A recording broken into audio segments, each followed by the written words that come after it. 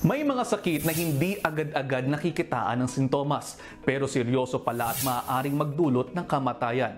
Tulad na lamang ng myocardial infarction o heart attack.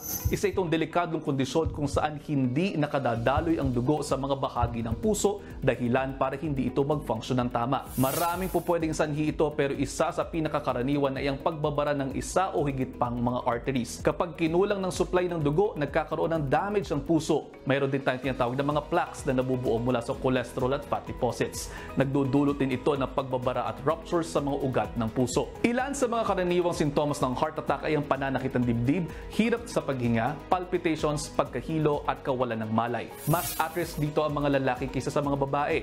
Magkaiba rin po ang sintomas ng heart attack sa dalawang kasarian. Mas malitan chance ang makaramdam ng chest pain o chest discomfort ang mga babae. Mas nakararamdam sila ng hirap ng paghinga, pagkapagod, insomnia, pagkahilo ng may kasamang pagsusuka at pananakit ng katawan. Kapag inatake sa puso, kailangan agad mabigyan ng atensyong medikal para maiwasan ng permanent heart damage o pagkamatay. Mas nagpapataas naman ang tsansa ng heart attack ang kawalan ng regular na ehersisyo lalo na kapag ka nauwi ito sa obesity. Malaking factor ang family history. Mas mataas ang tsansa mong magkaroon ng heart attack kung may kapatid o magulang kang nakaranas na nito. Mas mataas din ang risk kapag ka madalas na kumakain kayo ng processed at fried foods dahil sa pagdami ng low density lipoprotein o LDL cholesterol sa ating katawan. Inirekomenda pong mag-ingat na sa kinakain ng mga lalaking edad 45 pataas at mga babaeng edad 55 pataas. Makatutulong din po ang pag-iwas sa mga bisyo tulad na lamang ng paninigarilyo na iniuugnay sa napakaraming cardiovascular diseases. At kung mayroon pa kayong mga tanong tungkol sa inyong mga kalusugan, huwag mag-atubili, i-ask Doc Dex yan sa aking Facebook page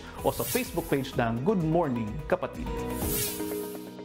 Mga kapatid, Justin Quirino po. Masayang kwentuhan at makapulahang informasyon ang hatid namin tuwing umaga. Kaya mag-subscribe na at mag-follow sa social media pages ng News 5.